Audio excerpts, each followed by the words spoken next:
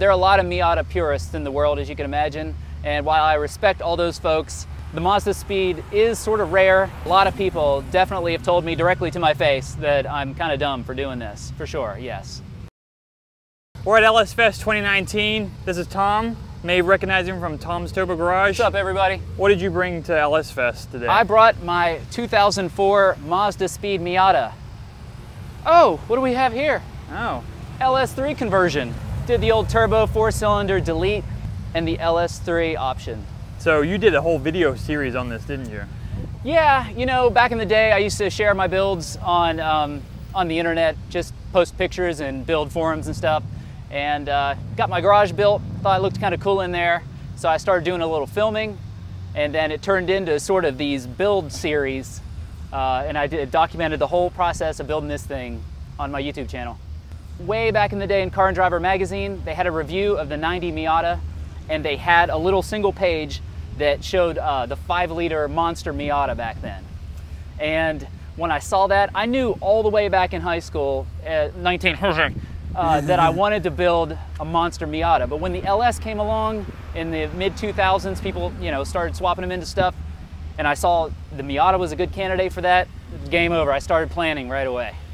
I really like how you kept it looking OEMs-ish. So like, what was the secret to that? What engine did you end up using? Originally, my plan was to do a lot of junkyard stuff and, you know, rebuild things, clean things up. But you know, sometimes your builds get a little out of hand. This is no different. I ended up using the LS376 525 from Summit Racing uh, and GM Performance. So full new crate engine. It was pretty awesome. Yeah. I kind of went for it.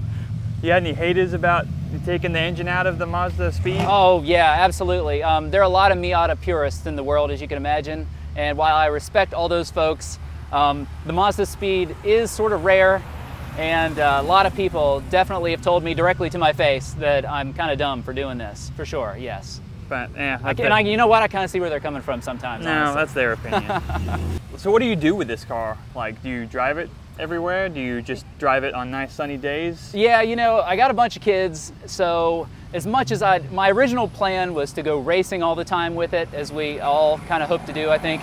But turns out, uh, had all these kids, and what I do more or less is just take it places. I drive it to work. Um, so I just had a lot of fun like drove it up here from uh, Knoxville. I just like taking it places, uh, but mainly just blast around the mountain roads near my house.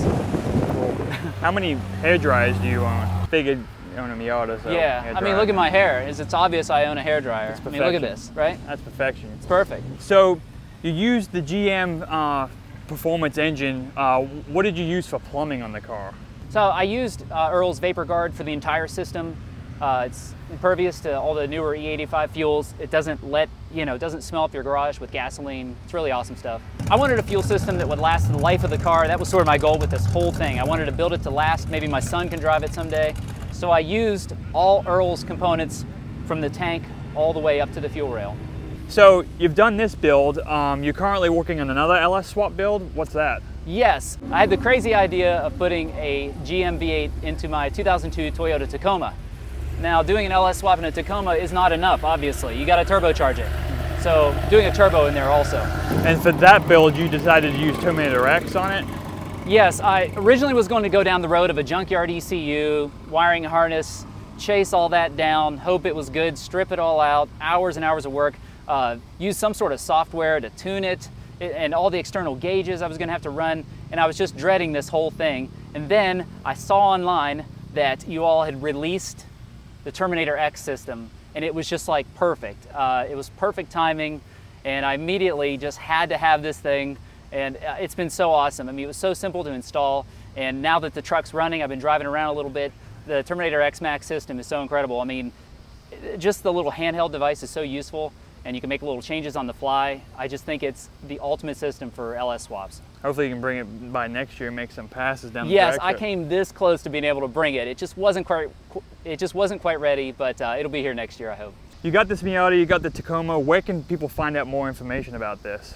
Well, you can uh, get on to YouTube, and if you just search Tom's Turbo Garage, you'll find all the builds I've done over the years, including this one and my 2002 Tacoma. So I, I really appreciate you coming out. Hope hey, you had a good time today. Thank you. Thank and you. don't do any hairdresser stuff in this car while driving. Well, I can't make any promises, you know what I'm saying?